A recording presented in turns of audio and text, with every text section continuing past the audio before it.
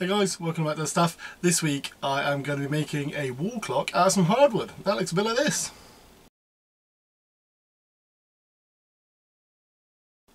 If you like the look of that, stick around. Remember, while this intro is on, drop me a like and subscribe to my channel.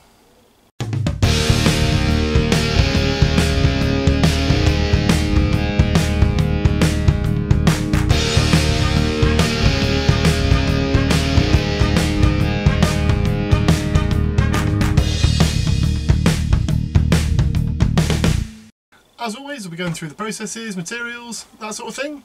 So let's turn around, get amongst it at the workbench. So for the clock face, I'm going to be using some hardwood, and for that I've got this piece. Uh, so this is either cherry, could be beech. I got it um, from an offcut box I bought on eBay. Not really quite sure what it is, but either way, it's not quite big enough for what I want. It's big enough in that direction, but not in that direction. So what I'm going to be doing is taking some strips out of here and whacking in some sapele. So going to put in some like racing stripes or uh, something like that like you saw me do on my chopping board um, a few weeks ago when I did my 100 subscriber giveaway. Uh, you can go back and watch that if you want. So I'm going to combine sapele with this bit of hardwood to get the width that I want. I'm going to cut a big circle out of it and put a mechanism on the back. So hopefully that'll be alright. First thing I cut on the table saw was the sapele. Uh, I've decided to go for uh, varying different widths of uh, strip to go in uh, this clock face. So I'm just setting up the uh, table saw to take the strips that I need. With the other piece of hardwood, I am taking about an inch strip off of one edge and then cutting some 5mm um, strips off of the remaining largest piece in order to get the fillers that will go in between each of the sapele uh, strips I just cut.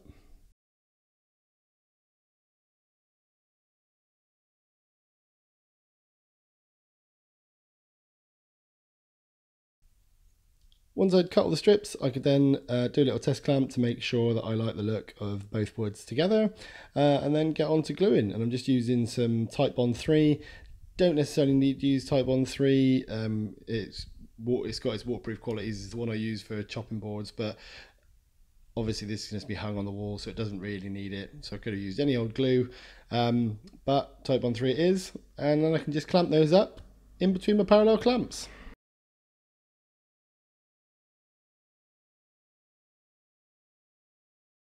Whilst the clock face was drying, um, I thought I'd make something to denote where the numbers would usually go on the clock. So I'm not putting numbers on this, just some uh, marks so I can tell the time. Uh, and to do that, I'm just cutting some 5mm, uh, a 5mm strip of sapele, and then just cutting some of the, uh, some smaller strips by hand, and I'll stick those on later.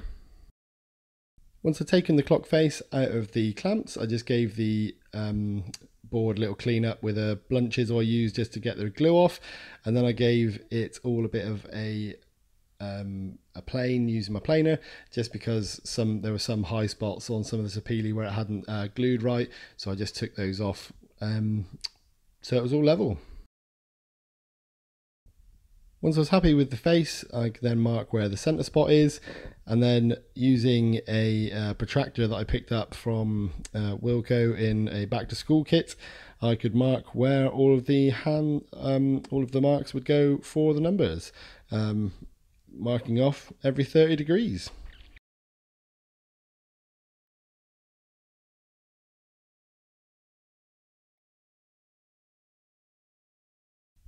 Because I want the clock to be a circle, I am uh, I need some way to cut that circle. I don't have a bandsaw, so I'm using my router. Um, and in order to cut a circle with a router, I am mounting it to a piece of plywood, uh, which will act as a pivot. Um, and then I can attach that uh, piece of plywood to the center of the clock and run the router round. So, so this is a pretty simple jig. Um, just going to use this for this one application, so it doesn't need to last more than this one go.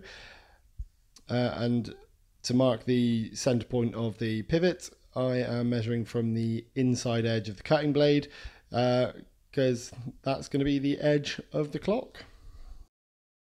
Once I got the jig made, I just gave it a little test on uh, this board to make sure that uh, the jig would actually make a circle.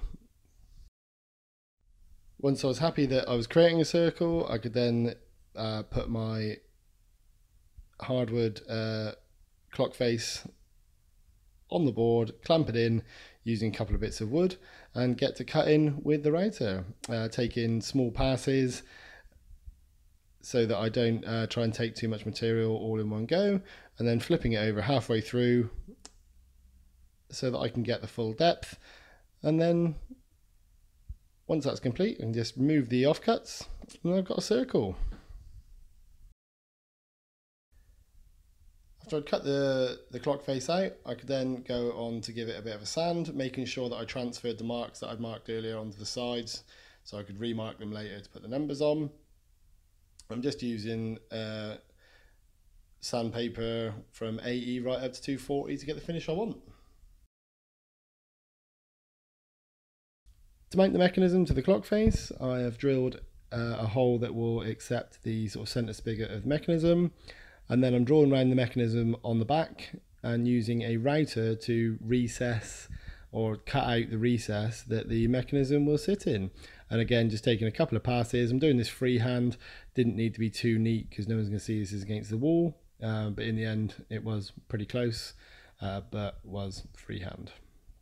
If you want to get a really neat finish, you could set yourself up sort of some sort of jig uh, so that your router doesn't go outside the lines. And with that done, I can then just mount the numbers or the uh, bits of wood that will act as numbers. Um, and I'm just using some Mitre Fast, which is a type of CA glue or fast acting glue, just so that I don't have to worry about clamps or anything like that. This is not going to be load bearing, so uh, this will be absolutely fine. Um, and I can just put those on all the way around before giving it uh, one final uh, sand with 240 grit sandpaper and just use the chisel to uh, get rid of any of the glue that is uh, spread out from underneath where I've put too much on. To finish the uh, wood I'm just putting some Danish oil on.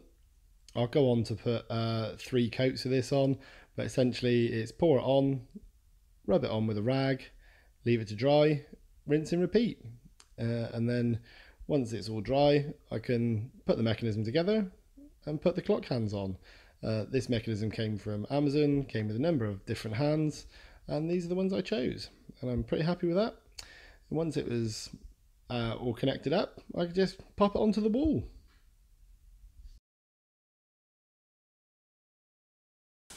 So we have it. That was a nice and simple uh, wall clock. I think it looks really good. It's going to go really nicely in my newly renovated office. All that's left to do is to uh, grab a beer. And today I've got a Keller Pils by Lost and Grounded.